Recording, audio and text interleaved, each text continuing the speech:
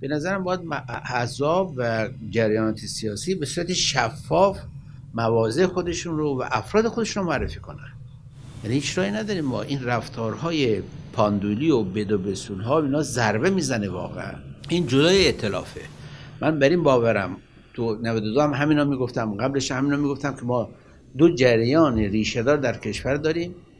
من نظرم اینه که این دو جریان در درون خودشون باید به اجماع برسن و بعد یک رقابت جدی داشته باشه مثلا در مجلس در تهران به جایی که با 400 تا 500 تا کاندیدا به مردم عرضه کنیم دو جریان اصلی دو, تا سی نفر معرفی کنن 60 نفر جدی با هم رقابت کنن. البته حق انفرادی افراد جایی نمیره ها جریانات میگیم حالا ممکنه که در مقطع اطلاع کنم. بله ما تو مجلس دهم اگر یادتون باشه من پیشنهادی که دادم فضای قبل از مجلس دهم خیلی نگرانی های ما داشتیم. سال اول ده 90 که ما بیایم یک اطلاف خاص رو داشته باشیم. مثلا در تهران ده تا کاندا مشترک داشته باشیم. یا یک کار دیگه بکنیم. پنج نفر رو ما بگیم هر کی رو گفتیم را بزنن تو لیست پنج تا اونا. توافق اولی هم شد بعد دوستان ما قبول نکردن. ما تا اینجا جلو رفتیم. این بیان اعتلاف با هدف مشخص.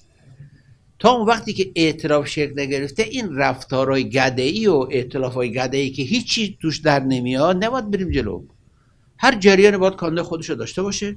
حالا در ادامه راه بله ممکن دو تا جریان سیاسی اعتراف می‌کنن مشخصه. مثلا برای تشکیل دولت اعتراف به این مفهوم که آقا ما دولت تشکیل رئیس جمهور از شما معاون اول از ما.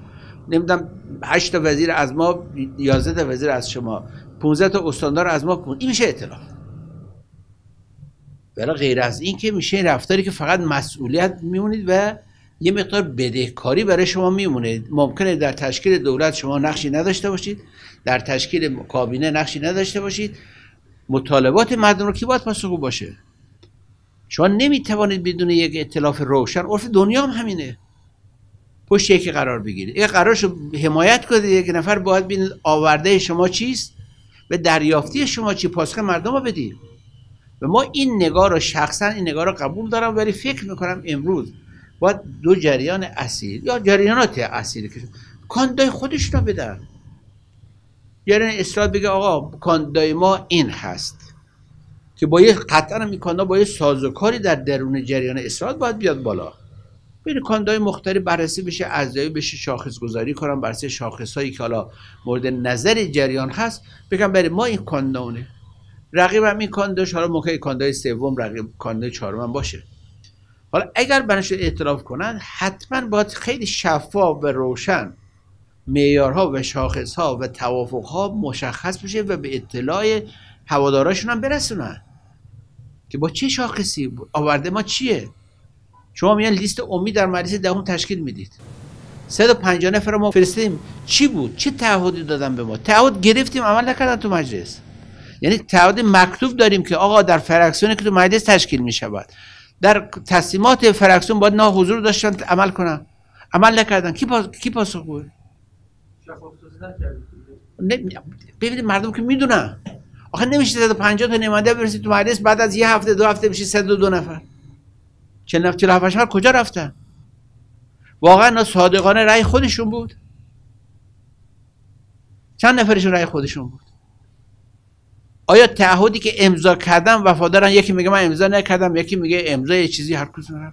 با که نمی‌خوایم اینقدر وارد حالا مسائل خیلی ریز بشیم ولی واقعیت باید بپذیریم. اینکه عده اصرار دارن به کاندای جریانی نتیجه این اطلاف, اطلاف های ننوشی همراهی هاست. لیست امید میدیم. حتی اسم رو ما امید گذاشتیم برای که اینو اطلاف باشه.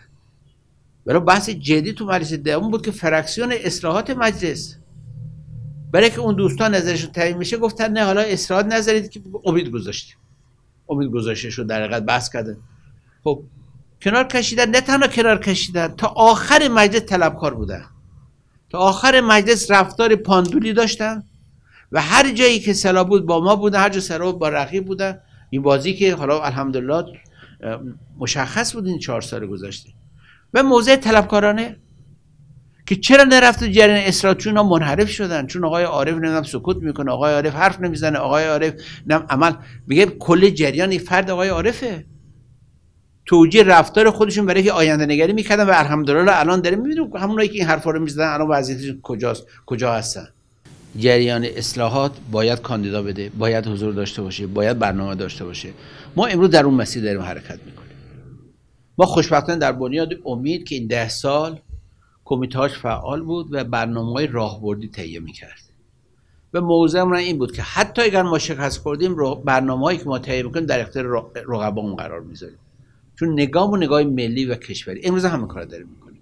یعنی کمیته های فعال هستن دارن برنامه تهیه می‌کنن. راهبرد بالا بردن مشارکت مردم راهبرد پاسخگویی به مطالبات مردم. اگر آمادیم راهبرد اداره کشور ما با هم داریم دنبال می‌کنیم بی تعارف.